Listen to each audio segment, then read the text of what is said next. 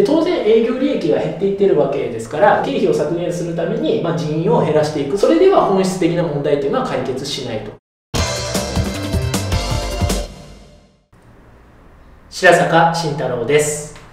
今回はですね三井住友リストラ加速6000人減へというテーマでやっていきたいと思います。でまず数字からですね確認していきたいと思います。三井住友フィナンシャルグループですね、まあ、三井住友銀行とかあとは証券会社とかもしくは消費者金融の会社とか、まあ、そういったこう金融関係の、ま、グループ、えー、会社が三井住友フィナンシャルグループですけれども、まあ、そちらの営業利益ですね。グループ全体の営業利益っていうのをちょっと数字を並べてみています。で2018年3月期決算ですね、まあ、1年間通期3月の末で締めた3月期の通期決算で、まあ、営業利益が1兆2038億円という金額になっています、まあ、1兆2000億の、ねまあ、巨額の、利益というのを出しているということです。ただこの2018年が、ピークになっているということですよね。そこから2年連続減少しています。2019年3月期で1兆1922億で、まあ、マイナス116億ですよね。前の年に比べて営業利益が0.9%減ってますと。でそして、まあ、次の年2020年、まあ、ここまでは確定してるんですけれどもはい、え2020年3月に関しては1兆850億ということで前の年にさらに、え1072億減って、まあ、前の年に比べて8.9%の営業利益の減ということですよね、まあ、ここまでは確定しています。でこの次の2021年3月っていうのはこれは三井住友フィナンシャルグループが出している目標値として出しています。目標このこの金額にしていますということで発表している。なのでこの最後の数字っていうのは、まあ、実際は確定してない目標値ということになりますけれども、まあ、9700億ということですよね。でもしこの数字の通りになったら前の年に比べて1150億営業利益が減って10.5%の減ということなんですよね。だからまあピークに比べて2年年連続減少で、ね、もし目標を達成したとしても3年連続営業利益が減る、えというような、まあ、状態になっているというのが、え三井住友フィナンシャルグループの、まあ、実情ということになっているんですよね。でまだ金額がすごく大きいので、まあ、1.2とか1.19とか1.85とかっていう感じでまだ1兆円以上の営業利益が出てるので、まあ、金額としてはね全然安泰なんですけれどもただ0.9%減って8.9%減って10.5%減ってっていう形になると、まあ、結局ねこう数字っていうのは増える時も複利で増えますけど減る時も複利で減っていくのでこういうふうにどんどんどんどん減っていくとかなりの速度で、えーね、あの実際は減っていくということになるんですよね。こう急にこうガンというふうにこう減るっていうのが、ま、増える時も複利で増える時はある臨界点で一気に伸びるんですけれども、え、こういうふうに毎年毎年減減減っていうふうになっていくとある境目になった時に一気に金額がドンというふうにこう下がっていくということが起きるんですよねだからかなりこうねそういう意味では、まあ、経営陣がま危機感を持つのはま当たり前の数字の状態になっているということです。はい、えー、そうした時に、まあ、じゃあ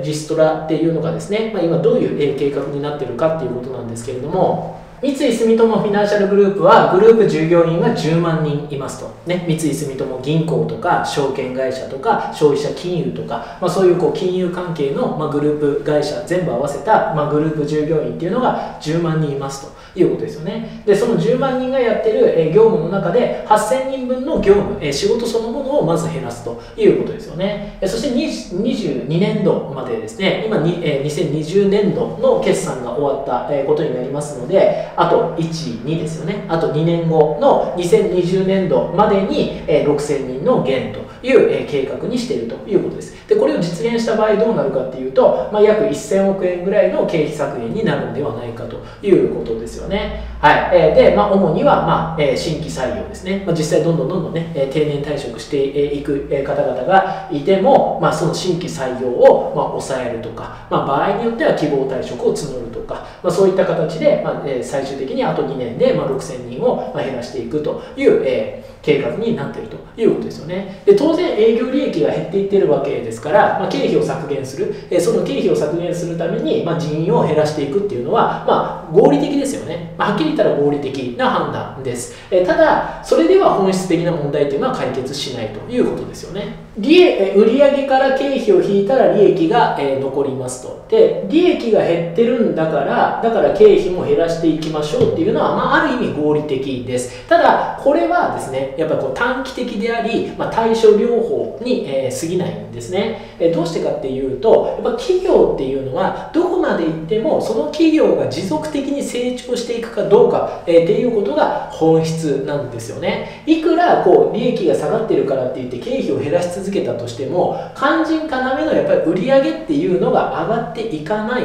と、まあ、その企業っていうのははっきり言ったら自利品です。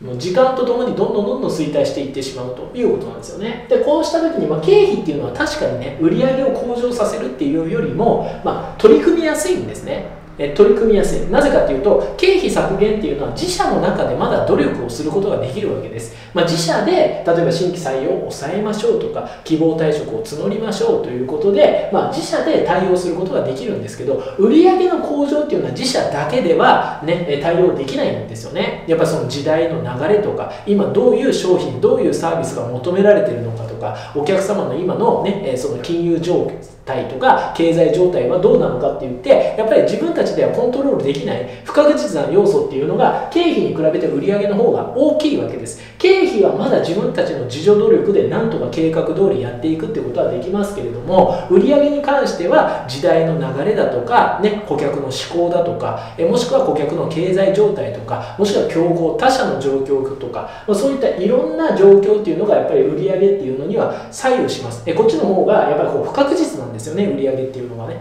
えなのでやっぱ経費の方は取り組みやすいんですけれども、ね、企業っていうのは少ない経費でやるっていうことも大事ですけどやっぱり常に売上が持続的に上がっていってるかっていうのが本質的なところでこれが売上っていうのが上がっていかないんだったらもう単純な時間稼ぎ単純なそのね自利品ということになっていきます。えそうするとやっぱ銀行業っていうのは、まあ、非常にね、えー、いろいろこう厳しい状況にありますよね。例えば金利がゼロ金利になって、まあ、国債での運用っていうのがほとんどできないということになっていたりとかですね。もちろんそのねネット証券とかネット銀行っていうその競合他社の参入だとか、えー、もしくはブロックチェーンに代表されるような、ね、銀行を不要とする、ねえー、その新技術の登場とかね、まあ、いろいろこう逆風が吹いていて、ね、営業利益が減っていくような、まあ、そう厳しい環境にあるっていうのはもう当然なんですけれども、まあ、それで当然ね、えー、利益が減ってるから経費を減らしていくっていうのはね、まあ、合理的は合理的です。これはまあ取り組まないといけないことことだとは思うんですけれども、ただ私たちが注目していかないといけないのは、じゃあどうやって売り上げは増やしていくつもりなのかっていうところをね、えー、焦点を当てて見ていく必要があります。ねまあ、あの三井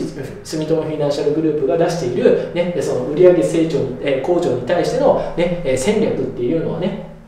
まあ、私も、え確認したんですけど非常にこう抽象的な言葉がね、えこう並んでいてじゃあ具体的にどうやって売り上げ上げていくのかっていうその具体策みたいなのっていうのは、まあ、なかなか見えてこないんですよね、まあ、こうなんかねこうすごくこう抽象度の高い言葉はね、え7つぐらい並んでるんですけれどもじゃあ具体的に実際何年何月までにどういう商品サービスをリリースしてどうやって売り上げをどれぐらい上げていくのかっていうのは全く見えてこないというところがあります、えなので、まあ、今回ですね、まあ、例えこの1000億の売り、えー、経費を削減に、まあ、成功したとして、まあ、リストラっていうのが6000人を減っていうのは成功して計画通り1000億円を経費削減したとしても、えー、結局1年で1150億円ぐらい、まあえー、利益が減る見通しだからやっぱり足りないんですよね。だから企業っていうのはどこまでってもその企業はこれから売り上げが上がっていって持続的に成長していくかどうかだけが一番本質的なところなので、そこを見ていくってことがすごく大事になっています。